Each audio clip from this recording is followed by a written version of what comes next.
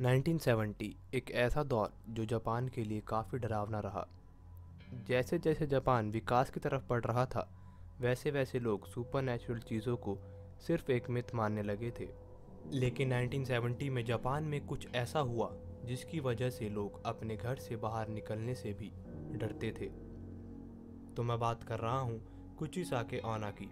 तो आप में से बहुत से लोगों ने कुची साके ओना का नाम तो ज़रूर सुना होगा।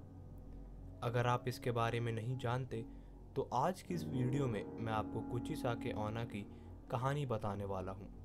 तो चलिए बिना देरी किए आज की इस वीडियो को शुरू करते हैं और जानते हैं कुची साके ओना के बारे में।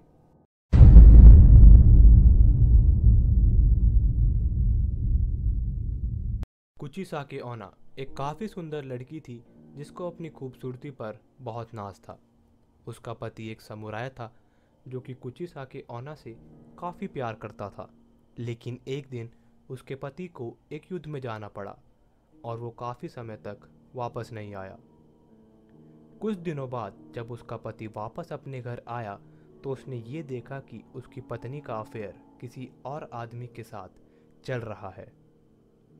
ये देखकर उस समुराय को इतना गुस्सा आया कि उसने अपनी तलवार से कुची साके का मुँह काट दिया।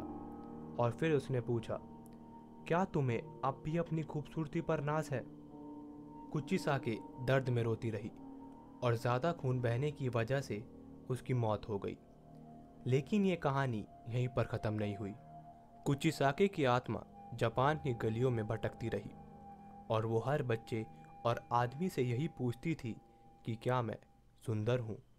अगर कोई उसका जवाब हाँ में देता था तो वो अपना सर्जिकल मास्क हटाती थी और वो फिर से पूछती थी कि क्या मैं सुंदर हूँ।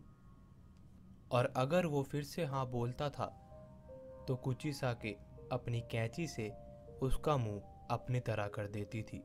और अगर कोई उसका जवाब ना में देता था तो वो उसको मार देती थी। तो अब आप ये तो समझ गए होंगे कि कुची साके के सवालों का कोई भी सही जवाब नहीं है।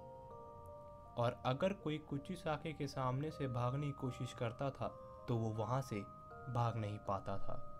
कुची साके आना का खौफ जापान में इतना था कि स्कूल के बच्चों को पुलिस प्रोटेक्शन देनी पड़ रही थी और कुची साके की खबर हर रोज़ अखबार में होती थी। और आज भी वहाँ के लोग कुची साके ओना का नाम सुनकर सहम जाते हैं। कुची साके ओना की कहानी थोड़ी बहुत इट मूवी यानी पेनीवाइज से मिलती जुलती है। जैसे पेनीवाइज हर सत्ताईस साल बाद डेरी शहर में आता था और बच्चों को अपने साथ सीवर्स में ले जाता था। तो आज की इस वीडियो को यहीं पर ख़त्म करते हैं और अगर आपको ये वीडियो अच्छी लगी तो इस वीडियो को लाइक करें, शेयर करें और हमारे चैनल मिड नाइट घोस्ट को सब्सक्राइब करें। और आप मुझे कमेंट सेक्शन में ये ज़रूर बताना कि आप कुछ ही सा के आना के बारे में क्या सोचते हो।